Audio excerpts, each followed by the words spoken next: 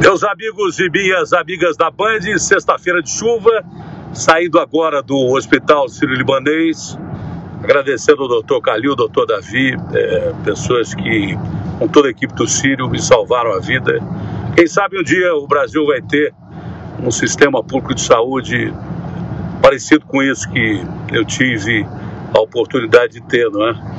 É, mas muito feliz em, em, estar com vocês de novo, saudade de vocês, saudade enorme de vocês. É, tanto tempo longe, não é? Quase uma semana. É, mas estaremos juntos daqui a pouco no Brasil Gente e, e ao vivo mostrando como está complicado o trânsito. O Joel está aqui dirigindo, a minha mulher está aqui atrás, Dona Matilde, e o trânsito muito complicado. E a melhor equipe técnica do Brasil vai mostrar isso para você, além das notícias do Brasil e do mundo. Graças a Deus, é, eu estou junto com vocês de novo. Sou muito grato a Ele e a vocês pelas orações. Fiquem com Deus. Até mais.